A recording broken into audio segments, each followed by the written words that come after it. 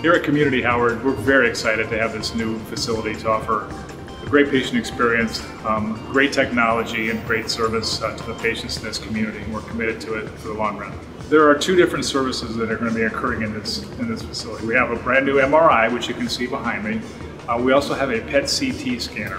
Uh, this is a, a device and a technology that's used to help with the diagnosis of cancer. The caring suite for the patient um, allows the patient more options, so they are able to pick different colors that they want to look at um, inside, so it's more calming for the patient. Um, we also have a 32 inch monitor up on the ceiling so they can watch movies.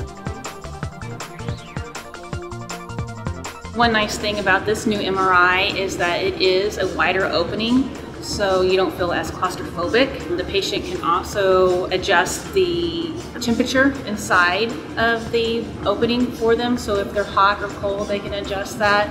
The table itself is a lot more comfortable for the patient and the scan is a lot quicker so they're not in the exam as long.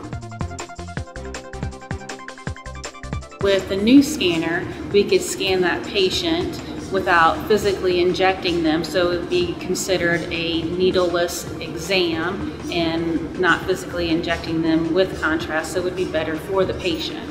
So with this um, new equipment, we'll have shorter patient exam times with higher quality images.